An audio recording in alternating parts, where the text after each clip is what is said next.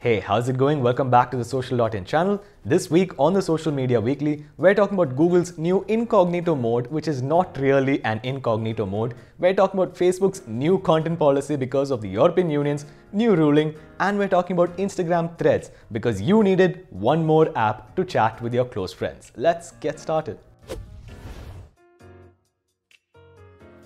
So the first story we have for you today is about Google's new incognito mode inside Google Maps. Here's the fine print. Google announced this feature a little while back. Before, you used to be able to use Google Maps without signing in.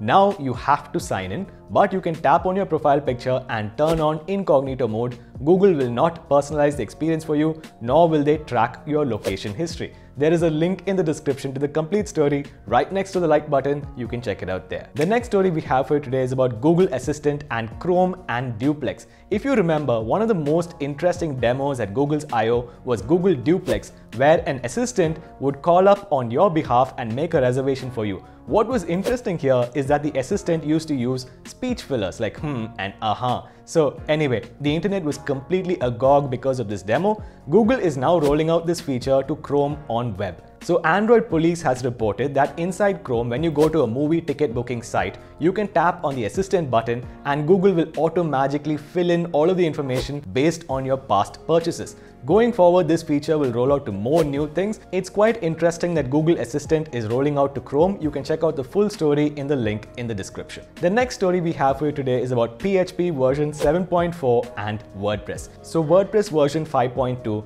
require that you have PHP version 5.6 in order to operate and recommended PHP version 7.2 in order to operate well. Now WordPress version 5.3 is coming out which includes support for PHP version 7.4. PHP version 7.4 has a whole list of new features. I won't bore you with the technicalities of it, but for developers, it includes support for typed properties, whatever they are. Interesting statistics here is that 22.2% of all WordPress websites currently run on PHP version 7.2. If you have an older version of PHP and you're running WordPress, we highly recommend you upgrade right now. Our next story obviously has to do with Facebook.com. So in the highest court in the European Union, they have decreed that lower courts can force Facebook to take down content which is derogatory in nature. So this all stems from a case filed by an Austrian politician called Eva Gias. Okay, I'm just going to call her Eva G for now. She filed a case in a lower court in the European Union forcing Facebook to take down content which was disparaging about her. Anyway, so the European Union's highest court has said that Facebook has to comply. This decision has interesting repercussions because all over the world, you have lower courts which could be politically influenced. So you could have a local politician who could force a lower court to force Facebook to take down content which is against them.